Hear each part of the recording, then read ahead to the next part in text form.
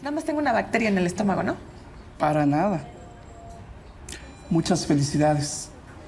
Tiene dos semanas de embarazo.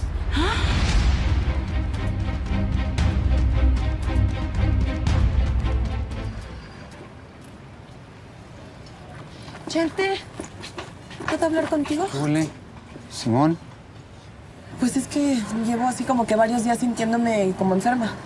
Entonces fui al servicio médico, me, me vio un doctor y me mandó a hacer un chorro de estudios. ¿y qué tienes? Pues no me quiero adelantar al diagnóstico del médico, pero No, no, no, no te entiendo. pues ya lo vas a entender. Pues ojalá no sea nada grave, Olga. Ojalá no sea nada grave para ti.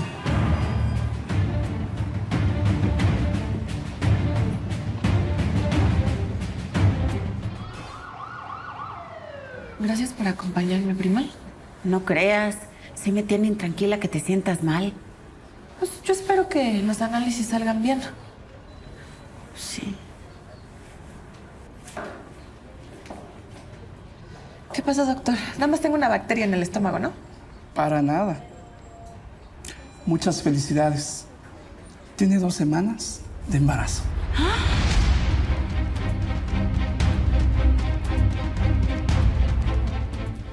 no hay de otra, Chole. Tú lo oíste, ¿no? El doctor me lo confirmó. Por el tiempo que tengo de embarazo, Chente es el papá de mi criatura. Él va a tener que dar la cara por nuestro niño. Olga, todo esto lo tenías planeado para amarrarte al chente, ¿verdad? Pues, ¿quién me crees? Este milagro yo no lo hice adrede. Fue un bendito accidente. Ahora sí se les dice las tarugadas de las irresponsables como tú. ¿Bendiciones? No, pues qué fácil, ¿no? ¡Qué horror, eh! A mí sí me dio mucho gusto saber que tú ibas a ser mamá. Deberías de alegrarte igual por mí. Yo soñaba todos los días con embarazarme del Gustavo. No fue un accidente. Pues mejor eso, hay que preguntárselo al Tavo, porque mira, luego, luego te mandó al diablo y regresó con la esposa. No lo necesito para tener a mi hijo. Yo lo voy a sacar adelante sola. En tu nombre llevas la cruz, soledad. No, no, no, no, no, cancelado, ¿eh? Yo no voy a seguir tu ejemplo de madre soltera. Yo sí voy a pelear para que mi hijo crezca con su papá. Chente me va a tener que responder.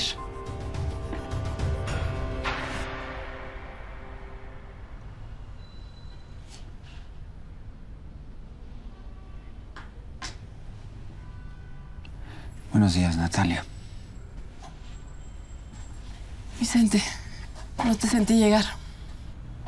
¿Necesitas algo? Yo sé que quedé contigo de no venirte a interrumpir cuando estuvieras aquí trabajando, pero me gustaría hablar contigo. Bueno, pues tengo... Diez minutos. En lo que Juan ha regresado al mercado. Con eso es suficiente. Te escucho. Yo sé que te sientes muy herida, pero no voy a tener paz hasta que entiendas que no, no soy como Adrián. Lo que sucedió con Olga, nunca lo planeé. Jamás tuve una aventura con ella, jamás. ¿Te vas a insistir en que fue un error de, de una noche? Es que sí. Fue un error provocado por los mezcales que me tomé. Aún me cuesta trabajo creer que fui capaz de meterme con ella sabiendo cuánto te amo. Ni siquiera puedo explicarte cómo pasó. Porque no lo recuerdo, Natalia. Y no es un pretexto como tú piensas. Te juro que es como, como si me hubieran arrancado la memoria. Pero es que no, no, no sé qué intentas conseguir con eso, Chente. Nada. No sé. Nada. No vengo a pedirte que me perdones ni a que me des otra oportunidad. Solo necesito que me creas. Olga no es mi amante. Nunca lo fue. Ni va a volver a ocurrir nada entre nosotros porque aquí, en mi corazón, y en mis pensamientos, y en cada célula de mi cuerpo, estás tú. Y vas a ser tú el amor de mi vida hasta el día que me muera.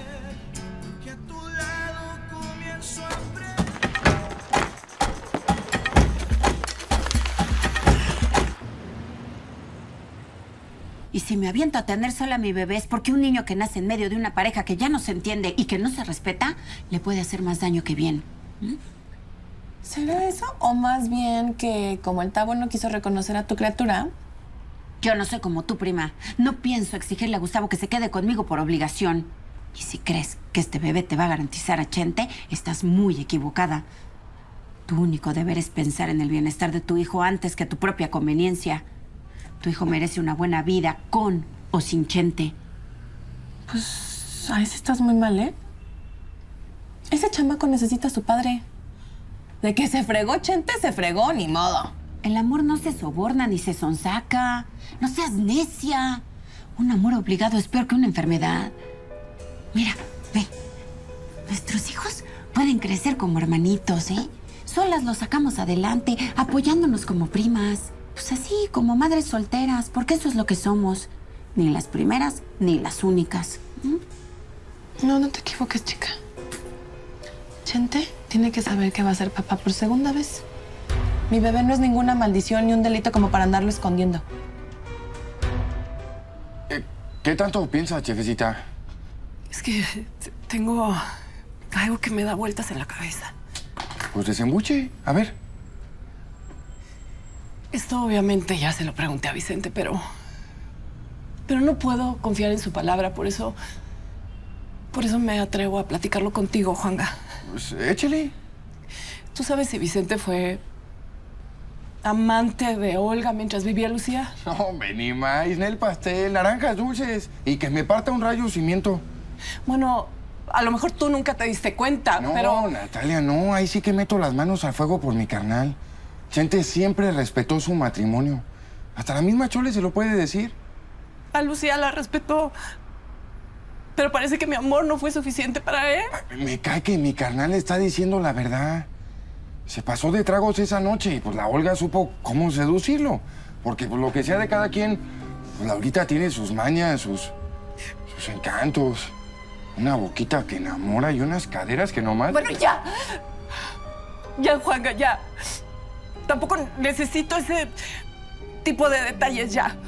Mire, yo le juro, por esta chefecita, que de haber estado en sus cinco sentidos, Chente jamás hubiera caído en los encantos de Olga. Oye, Chente, eh, me quedé pensando en lo que dijiste, de que no puedes recordar lo que sucedió esa noche. Nunca me había pasado que amaneciera sin saber qué fue lo que hice. No sabes el susto que me llevé al despertar y ver a Olga aquí, aquí a mi lado. Sí, e- e- exacto, exacto. Es que yo también tuve algo similar, sí, un, un- un- blackout. Sí, Fue, fue mi despedida de soltero. Cuando me desperté, así como tú, así como tú, pensé que se me había destruido la vida.